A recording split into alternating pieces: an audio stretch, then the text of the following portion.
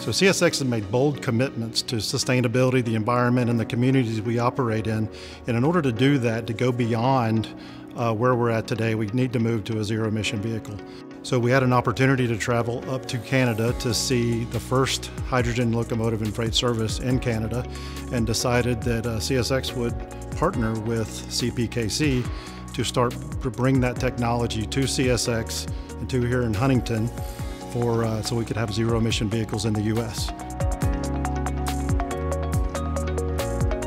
This is the first locomotive that's actually 100% remanufactured for hydrogen.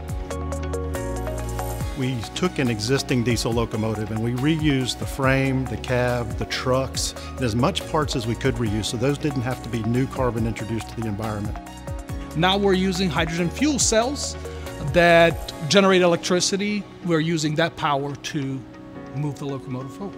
The commitment of CSX has been very, very encouraging. Uh, I believe that they're all in on this and uh, they definitely see the future in it and we're just glad here at Huntington to be a part of it. Everybody's excited. Uh, there's been a lot of hard work and dedication put into this particular locomotive.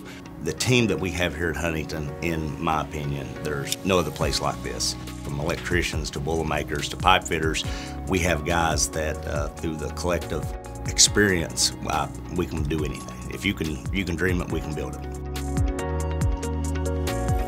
This locomotive demonstrates CSX's commitment to innovation and sustainability in the communities we operate in. The future looks bright. We're doing something extremely innovative at Huntington Locomotive Shop, and we're going to continue to innovate this product line as much as we can to have a more efficient and reliable locomotive.